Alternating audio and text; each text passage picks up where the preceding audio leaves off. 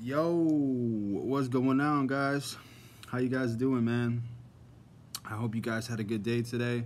I hope you guys are staying strong, and I hope that you guys are enjoying this journey. You know, I have a video for you guys that um, has to do with um, dealing with the low moments on this journey. You know, I wanted to talk about spiritual warfare a little bit.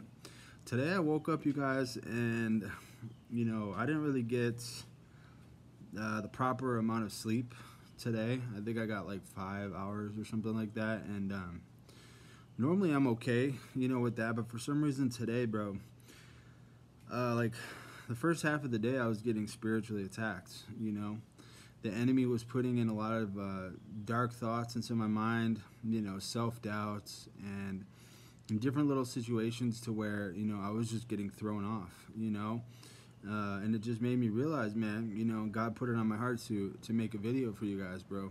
Um, if you guys, you know, going on semen retention is one thing. You know, if you guys are on semen retention, um, you're going to be experiencing spiritual warfare. You know, because you're giving up a sin.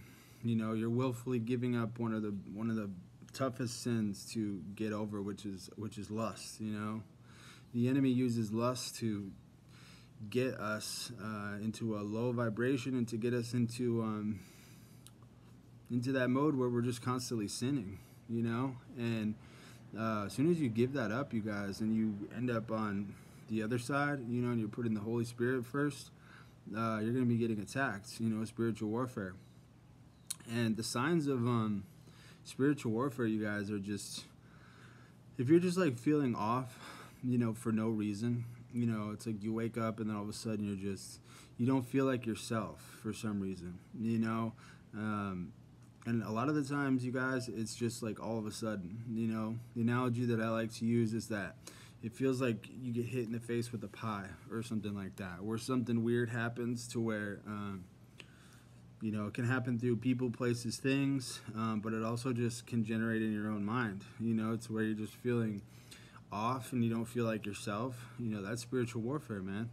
You're being spiritually attacked by the enemy, you know, because he wants, he doesn't want the warriors for for God to be around and be to be doing God's work, you know, and he especially doesn't want you to escape, you know, that prison that you were in. He doesn't want you to escape that lust you know, being that lust zombie and just being in that prison to where you're fapping all the time and doing all that stuff. So, you know, if you're on SR, that's one thing. You're going to be getting the spiritual warfare. But then is your, if you're also, you know, praying to God and putting God first and getting in the Word, oh yeah, you're going to be getting attacked um, even double time. And then if you're doing God's work, you know, maybe preaching or, or telling other people about God or semen retention, you're going to be getting, you know, you're gonna be getting hit even harder. You know, that's how it is, bro. Because you got to think about it. You know, when you you make that leap to the other side, it's like you're basically fighting. You're fighting for God, so you're essentially you're attacking the enemy. You know, by doing all this stuff, you're pretty much attacking them, so they're gonna attack you back. You know, that's how it is, bro. That's that's that's what our existence is, man. Spiritual warfare. So, um, a lot of the times you guys you can tell if it's a spiritual attack if you know you're having feelings of like self-doubt low self-esteem like you're feeling self-conscious. Like today i was feeling like self-conscious you know for some reason. I was looking in the mirror and i like didn't like uh, just silly stuff. This is how i knew it was a spiritual attack. I didn't like the length of my beard or something like that. And then I was looking at one of my tattoos and I was like, you know, thinking about potentially removing it and you know and a couple a couple hours passed and I realized like how silly I was being. You know I was just in my head about like the way I looked and that's how you know it's the enemy. That's like that that that is living in the flesh. When you're worried about you know how you look and stuff like that the bible tells us not to worry about that stuff. It tells us to not worry about you know how you how you look and you know your appearance and things like that because you're living in the flesh at that point you know so that's how it is man that's that's that's the uh the petty ass shit that you know the enemy is, is gonna do to us you know lies, deceit, schemes, you know, that are that are set up against you from potentially other people. Those are also spiritual attacks. You know, all of a sudden it's like one of your friends or whoever, you know, maybe a roommate or a coworker or something like that. Somebody that you see all the time is just like, you know, in your face and you know talking shit to you or whatever. You know, just random. You know, that's another spiritual attack. And then, but most of it, you guys, just resides in your own mind. You know a lot of the spiritual warfare just resides in your mind and your thoughts and bad thoughts and stuff like that. So we got to be careful, you guys. I got some scriptures that I wanted to read here uh, that I picked out, you know, that are about spiritual warfare, and I'm going to um, break it down a little bit. So uh, this one is um, of 1 Peter 5, verse 8. It says, Be alert and of sober mind. The enemy, be alert and of sober mind. Your enemy, the devil, prowls around like a roaring lion looking for someone to devour.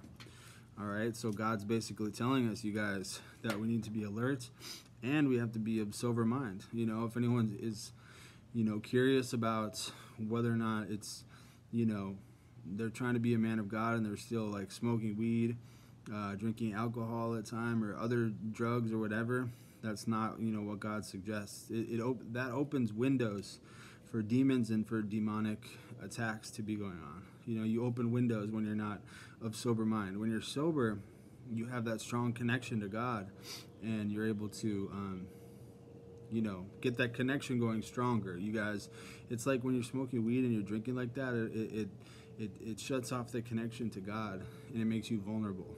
You know, to other attacks. So you're you're opening windows at that point. All right, so God says, you know, for spiritual warfare, He wants us to be sober, you know, sober minded. Uh, it says, yeah, the, the enemy, the devil, prowls around like a roaring lion looking for someone to devour. So he's literally, you know, going all over the place, just looking for whoever he, you know, looking for anyone that's vulnerable to attack. All right, guys? Uh, James 1, verse 13 says, When tempted, no one should say, God is tempting me, for God cannot be tempted by evil, nor does he tempt anyone. So, you guys, if you're being tempted to sin and any of this kind of stuff, uh, that's how you know it's another spiritual attack. All right, you know that it's the the devil. You know, if you get urges, you know, urges to fap, that that's a that's a demonic stronghold. You guys, if you get urges to sin, you know, whatever it is, use substances. Um, you get an urge to, um, yeah, fap, have casual sex with a girl, maybe go gambling or anything you know that you know is wrong you know that's a that's a stronghold you know and that's that is from the enemy you know god's not going to tempt you. It says right here in the scripture god uh, god cannot be tempted by evil nor will he tempt anyone. So anytime you're feeling like that you know you're under spiritual attack. All right guys galatians 5 verse 17 for the flesh sets its desire against the spirit and the spirit against the flesh for these are in opposition to one another, so that you may not do the things that you please. So that's basically it, you guys. Like, when you're living in your flesh, you know, that's essentially how the devil wants you to be living. You know, when you're living carnally and you're and you're taking part in all these things, like I just mentioned, you're giving into those strongholds and you're giving into the urges and you're living in sin. Uh, that's that's how you're living in your flesh, and that's how that's how they win the spiritual warfare that's essentially what they want you to be doing. You know, they want you to be sinning and to be living in the flesh, right? They don't want you to be living in the spirit. So uh, when they get you in that corner, you know, that's basically where where they want you to be. So um, you know, they're gonna let you they're gonna let you chill. They're gonna let you be living like that for a while. You know, when you're living like that, you're gonna feel comfortable. You know, the devil doesn't really attack you when he's got you where he wants you. You guys smoking weed every day, drinking, smashing girls all the time, fapping on the websites. That's that's how he wants you to be living, you know. So you're gonna be feeling comfortable in that moment because you're living in the flesh. You know, you're not living in the spirit. So, all right, guys. Uh, Two Corinthians. It says the weapons that we fight with are not the weapons of this world. On the contrary, they have divine power to demolish strongholds. So, you guys, the weapons that we need to use in this spiritual warfare with all this stuff I'm talking about, it says the weapons that we use are not of this world. You know, we need to use uh, the armor of God, right? That's what the Bible tells us to use, you know, to fight against all this stuff. Uh, there's all different um, terms for it, but uh, all I know is the weapon that we have, you guys, is the sword of the spirit, you know, and that's that is the word of God. So, anytime that you guys are feeling like you're being spiritually attacked, or you feel like a stronghold or an urge or whatever it is, you know, you're feeling like in a funk, you know, like I described this morning.